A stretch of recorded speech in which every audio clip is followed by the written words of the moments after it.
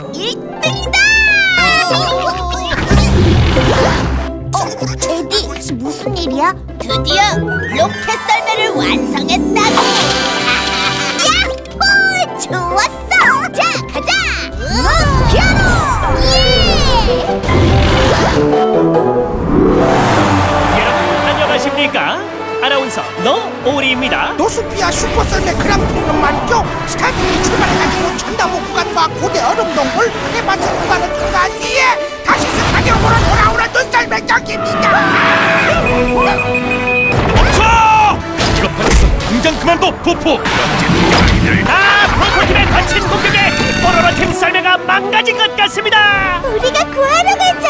루피 눈폭풍 때문에 연기구로는 갈 수가 없어 큰일이다. 연료도 다 떨어져 갈 텐데. 어, 어떡하면 좋지? 안 되겠어!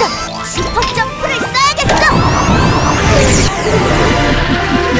이제 끝이다 꼬맹이들.